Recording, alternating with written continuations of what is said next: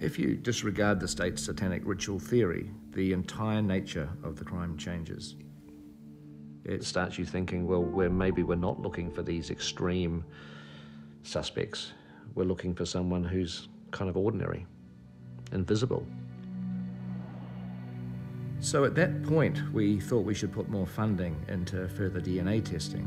We're getting packages and shipments of all sorts of DNA samples that we're then forwarding on to our DNA expert out there was a process that was going on that either would be the impetus for exoneration or would be the state's last chance to demonstrate in this highly controversial case that he was good for it.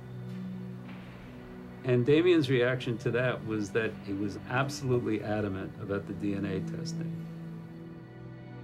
Of all the samples and all the various hairs and things that got tested, there was nothing None of the DNA came back. Nothing matched Damien, Jason, or Jessie. What was interesting, however, were some unknown hairs. And there was one hair in particular that was in the binding of one of the ligatures. The boys had their hands tied with shoelaces, and right in the middle of a knot that had been tightened, there was a hair jammed in that knot. Had the hair been located anywhere other than inside a ligature binding I would say, you know, it's not as significant as it could be. But given its location, I think it's particularly damning evidence. The hair that was tied into Michael Moore's ligature had to come from somebody.